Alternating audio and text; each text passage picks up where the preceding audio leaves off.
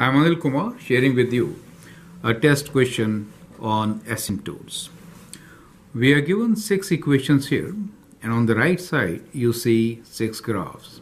You have to match each equation with their graph and uh, you can take horizontal asymptote as the criteria for matching the graphs.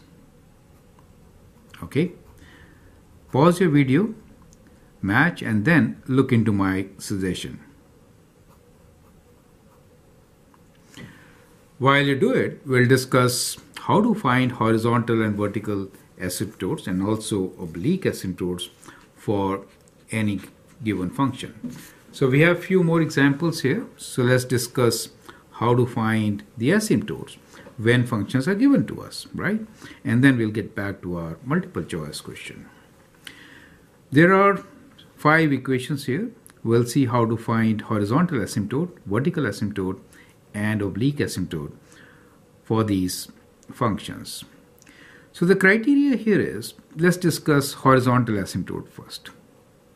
For finding horizontal asymptote, we are checking degree of numerator and denominator, right? So you need to check degree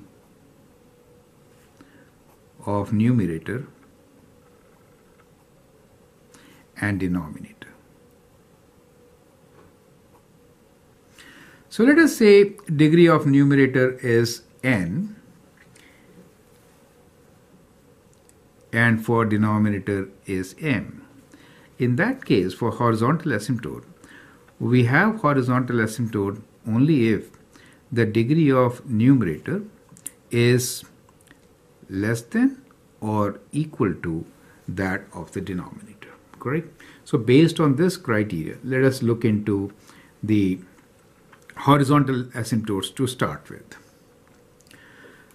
The first equation, the degree is same. So in this case, n equals to m so whenever n and m are same, then the equation is of horizontal asymptote y equals to ratio of leading coefficients. So the equation is y equals to 2 over 3. So that is for horizontal asymptote. In this particular case, degree of n is equal to m. However, this is very special. Square root is always positive, correct? So whenever we do square root, Square root of x squared is absolute value of x. This is always positive. However, when you look into the numerator, it could be positive or negative, right? In any case, the degree is 1. In this case, both same, right? Both degree is same. And therefore, what do you expect? You expect coefficient here is minus 5. So we have two horizontal asymptote. One is y equals to minus 5 and the other one when you're approaching to minus infinity this will become positive right? Minus times minus. So the other one is positive 5 so in this particular case actually you'll get two horizontal asymptotes and that's a very critical thing. You should not miss the second one. Now see degrees are again the same however you see this minus 3 written here. So we change the position. Normally you'll find the leading coefficient to be written first, but in the test it may not always be same. So here again we have same degrees and the rule is ratio of leading coefficients. Ratio of leading coefficients is minus 3 and 1, so it is minus 3. Now in this particular case, it is 3 plus something and that something approaches 0 since the degree of denominator is higher. So this part is 0, right? Kind of when x is approaching infinity, negative or positive. However, 3 plus indicates they are approaching the value of 3. So since the degree of numerator is lesser than m, this part is 0. However, we have 3 plus something, so y equals to 3 becomes your horizontal asymptote. The last case here is y cube over x square minus 1. Here we do not have any horizontal asymptote. In this case, we expect oblique asymptote, correct? So we'll also see how to find equation of oblique asymptote. For that, we have to divide the numerator by the denominator. We'll get a linear equation. That will be the equation for the asymptote, correct? Now, first let's look into uh, the vertical asymptotes. Then we'll get back to oblique asymptotes. For vertical asymptotes, we have to see the denominator. So now we are looking at vertical asymptotes. So we have to check the denominator equals to 0. Now in this case 3x squared plus 2, if you want to make this as 0, then x squared should be negative, which is not possible. So there is none, right? In this case, no vertical asymptote. In this particular case, also denominator has x squared minus 2 term, so there is no vertical asymptote. Here, the denominator can be made 0 for x equals to plus minus 1. So the equation is x equals to plus minus 1. Both values will make denominator 0. The last one, I mean here, since it is x to the power of 4, it can never be negative. So here again it is none. This is similar to what we had and it will have a, a asymptote at plus minus 1. So, so okay, let's write x equals to plus minus 1. So we have done for vertical and horizontal asymptotes. Now let us see how to find vertic uh, oblique asymptote. So in this case, oblique asymptote you can find by dividing x cubed the numerator by the denominator.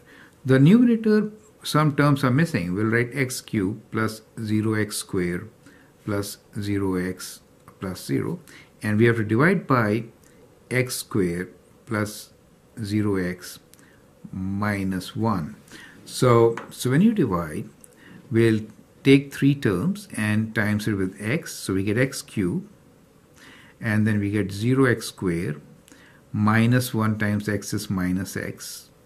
So when you take away, uh, you get minus x becomes plus x plus 0. So y equals to x becomes your oblique asymptote. So we have here y equals to x as oblique asymptote. Correct? So that is how you find oblique asymptote. So, no oblique, right? No horizontal asymptote. So what you have seen here is for horizontal asymptote, degree of numerator is lesser or equal to denominator. For vertical asymptote, what are we going? We are equating denominator to 0. Will give us vertical asymptote. For oblique asymptote, degree of numerator n is greater than m. It is in fact equal to m plus 1 to get oblique, linear oblique. Right. Now let's get back to our original question which was to match the graphs for the given asymptotes. Okay, so there you go. Now we know how to find horizontal asymptotes. So let's figure out what horizontal asymptotes are and then we'll match them up. In this particular case, degree of numerator denominator is same. So the horizontal asymptote is at y equals to 3 right? And both are square terms here, so it is non-negative. The function is always positive. Now y equals to 3, we have this particular uh, plot, and with x equals to 0, it does match, right? So, so we got the first one here, a, which matches with this. So let me write a here. Okay.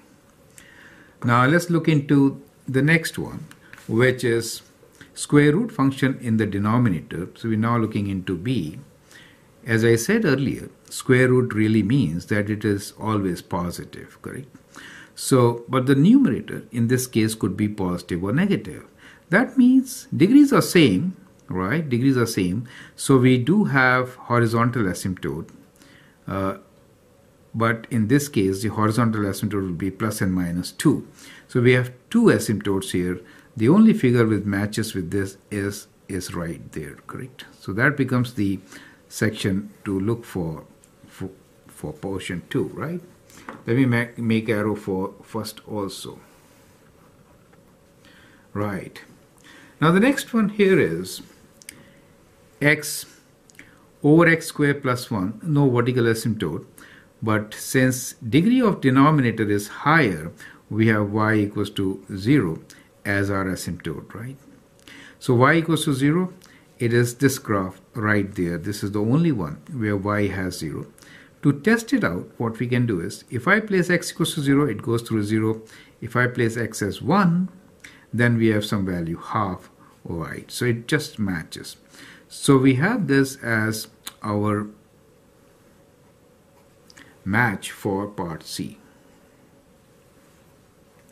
Now let's do part D where it is 2 plus something, right? So, so when it is 2 plus something and this something is approaching 0, so we have a horizontal asymptote at 2, right? So, and also you'll notice all this is positive, correct? Horizontal asymptote at 2, all this is positive and 2 plus means greater than so the figure which matches is right there so this is D for us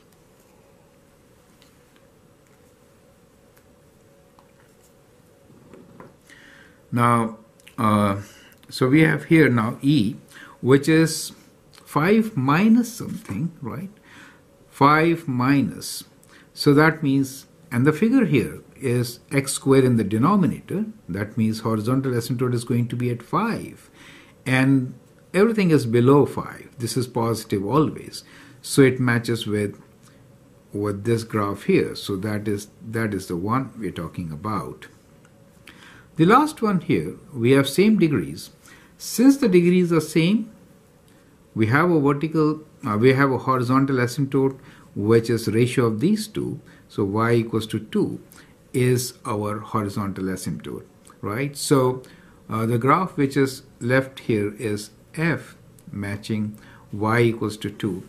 And the difference between this and the previous one, which we matched with d, was that this figure here is always positive and therefore the graph is above 2. In this particular case, it could be below 2 also, right? And that's how they're different. So I hope you appreciate that part. So this is kind of like this.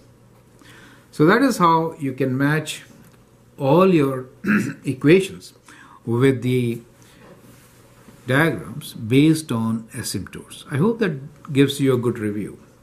Feel free to write your comments and share your views. And if you like and subscribe to my videos, that would be great. Thank you and all the best.